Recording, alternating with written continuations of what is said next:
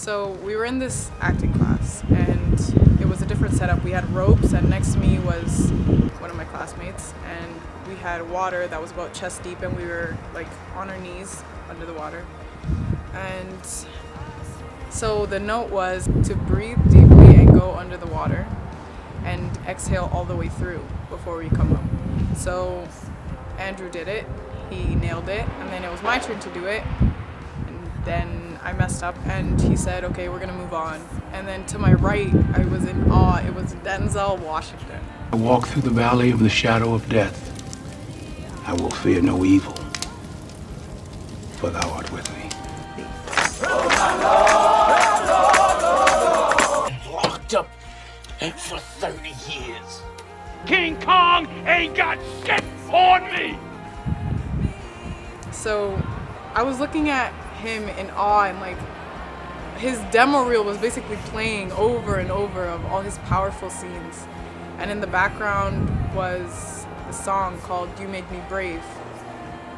And him quoting like these Bible verses. And so after he went, uh, the teacher told me that I could go again. I had a second chance, right? So I took a deep breath and I went under the water and I was exhaling all the way through. I was pushing out, it was like I was way deeper than when I went in. And so I pushed out and I was exhaling, but I wasn't reaching the top. And then I heard a faint voice, which was my teacher, saying, okay, get out. And then he was saying more panicked, like, get her out, get her out, you know? And so then I felt myself getting elevated and carried to the front of the class and I could hear sirens and everyone's just like, she's not breathing, she's not breathing, but I'm just there like, what the hell are you guys talking about? Just calm down, you know?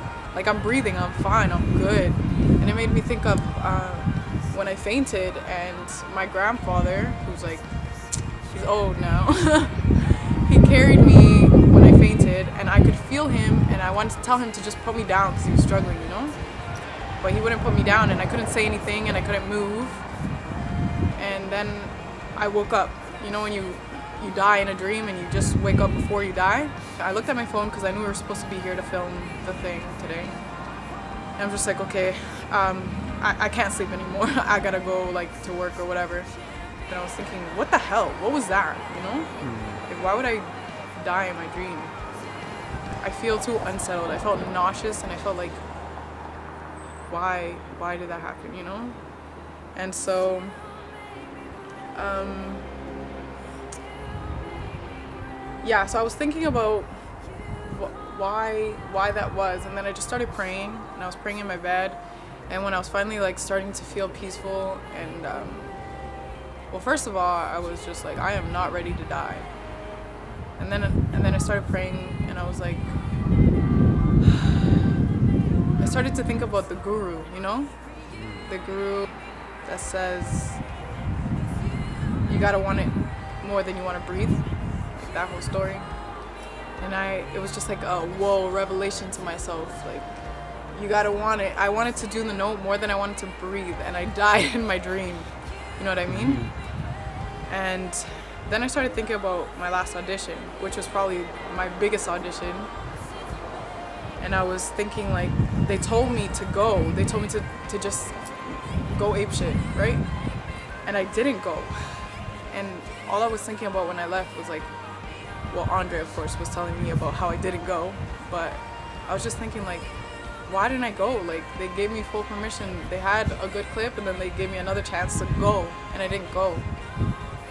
And just thinking about the need to to give it 100% all the time, you know? Yeah. And yeah, that was my dream, and it kind of messed me up. but I think that it helped me also because now I know that especially when I'm given a second chance, I need to give it 100%.